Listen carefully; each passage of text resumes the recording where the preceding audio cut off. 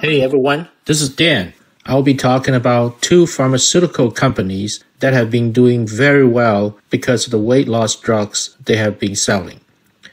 The two companies are Eli Lilly, stock symbol LLY, and Novo Nordisk, stock symbol NVO.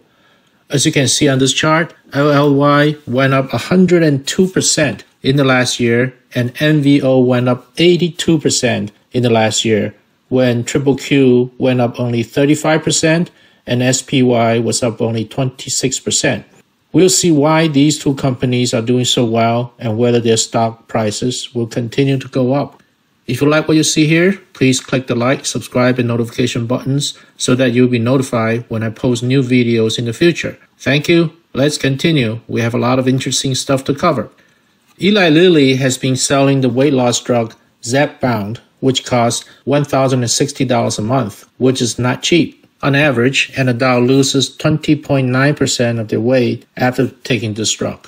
Novo Nordisk has been selling the weight loss drug Wegovy, which costs $1,349 a month. On average, an adult loses 15% weight after taking this drug.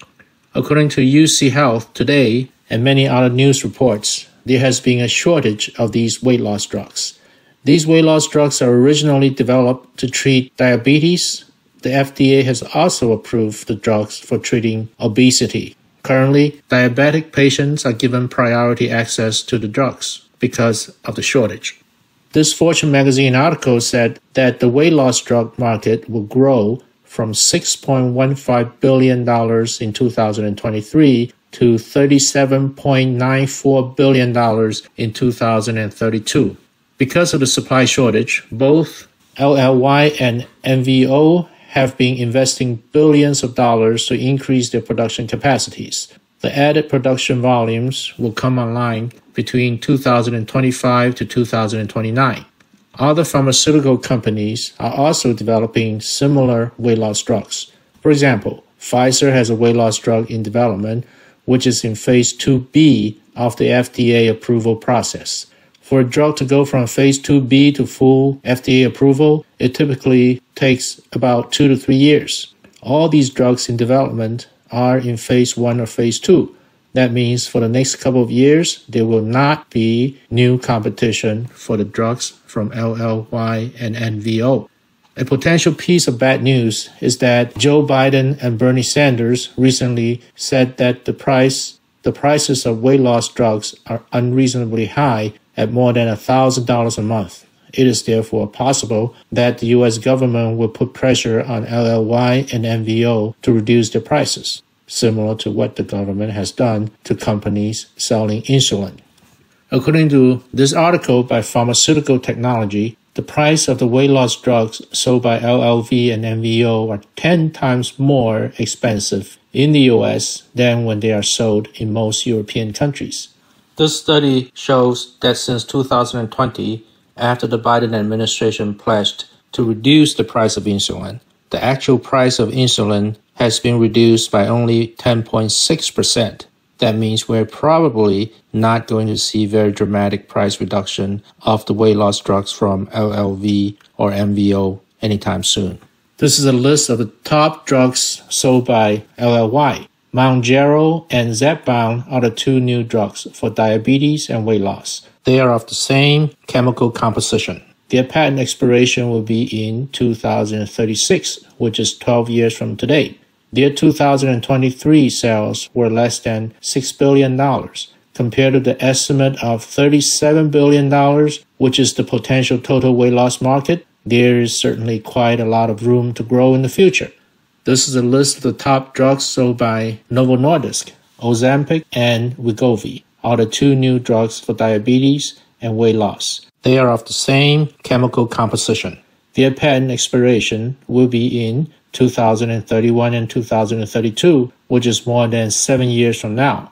Their 2023 sales were about $18 billion, again, compared to the estimate of $37 billion of potential total weight loss market. There's certainly quite a lot of room to grow.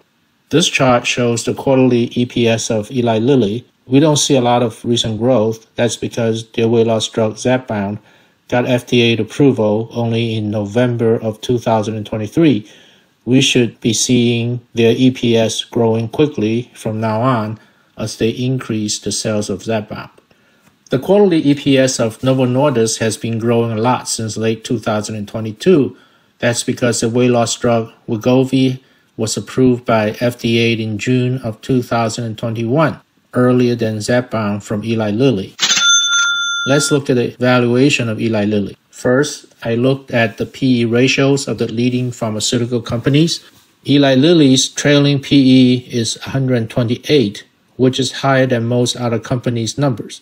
I then use the year-end 2023 stock price and net income as my base and use the assumption of 40% annual EPS growth and PE ratios of 100 for 2023, 80 for 2025 to calculate the stock prices for year-end 2024 and year-end 2025. For 2024, I got $951 a share, and for 2025, I got $1,065 a share. For the valuation of Novo Nordisk, I used the assumptions of 15% EPS growth per year and P ratio of 40. For 2024, I got a stock price of $164 a share, and for 2025, $189 a share. The professional analysts rate both LLY and NVO as a buy or strong buy, with high target prices at around 1040 for LLY and 170 for NVO. With regard to insider trading, there has been quite a bit of insider selling for LLY in the last two, three months. That means the stock price might flatten out in the near future, but I'm still bullish about the company for the long term. Unfortunately, I cannot find similar insider trading information for NVO. Maybe that's because NVO is a company based in Denmark with only American depository receipt registered in the New York Stock Exchange. NVO is probably not required to file SEC Form 4, which is about insider trading. Let's look at how LLY and NVO performed when the broad market was down. I compared the two stocks against SPY and Triple Q for the following five periods. The 2008 financial crisis, the 2015 market crash, the 2022 Fed rate hike, which induced a market correction, the recent 2023 market correction, and the pandemic crash. For example, during the 2022 Fed rate hike period, SPY went down 25%, Triple Q went down 33%, LLY went up 19%, and NVO went down only 8%. Overall, both LLY and NVO performed better than the broad market during market downturns. LLY and NVO certainly performed much better than the broad market in the last five years and in the last 12 months. Let's look at technical analysis. This is a daily chart for LLY for the last six months. As you can see, it has been going up steadily in the last three months. It's approaching the upper Bollinger Band now. The RSI value is high, but still lower than the historical max.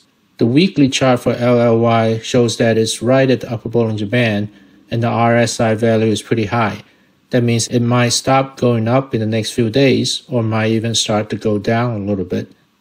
For NVO, it went down for a few days recently and has been rebounding. If it can get above and stay above the 20 day moving average, that'll be a pretty bullish sign. The RSI value is not too high now. The weekly chart for NVO shows that the stock is not under technical pressure to go down because it has not reached the upper Bollinger Band and the RSI value is also not very high. So what are my conclusions? The weight loss drugs by LLY and NVO have significant growth potentials. Demand far exceeds supply for now, and their patent expiration dates are more than six years from today. LLY and NVO have grown faster than SPY and Triple Q in the 12 month and 5 year periods. They are fairly recession resistant. Both stocks have favorable analysts' ratings, the daily RSI values are high for LLY and moderate for NVO. I will consider buying shares when daily RSI is less than 60.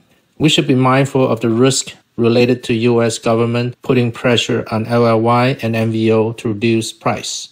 I have bought and sold NVO since 2022 and have made significant profits. I recently bought LLY shares. I will post my trades in the community section of my YouTube channel. I used to share my trades with my subscribers on Twitter.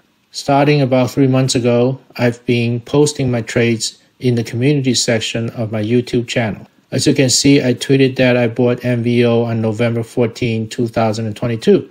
I sold NVO shares on May 4, April 4, and January 11 of 2023 at 39%, 18%, and 15% gains.